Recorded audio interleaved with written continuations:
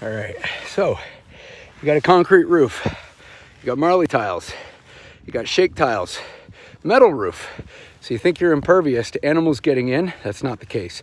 Animals will always find a way to sneak in, to find a spot, expose a weakness, and find their way into your attic. So here we have a concrete tile roof, but right here in this little corner, they have found a way to sneak inside. So the squirrels have gone inside this little corner right here found their way into the attic and now they're running around like crazy.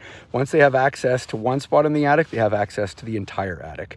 So if you are hearing noises inside the roof or you've seen animals running around on your roof and you want to know that you're protected, give me a call just for your home solutions.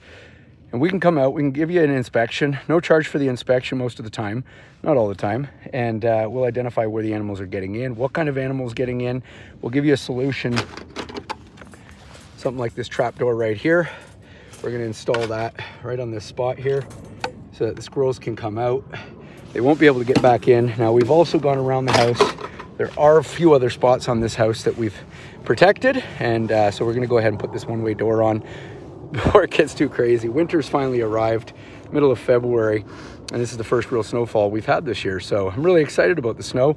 Uh, one of the key things that I love about the snow is I can fly my drone after a snowfall and I can look around on the rooftops and I can actually see the little pathways where the animals walk around on the roof and go back in. So a lot of times I don't even have to go up on the roof when there's snow. So it's not so dangerous. I just fly the drone. The animal tracks will actually lead me straight to the spot where they've been using as an access door to get into the roof. And then what I can do is I can go up there with the shovel.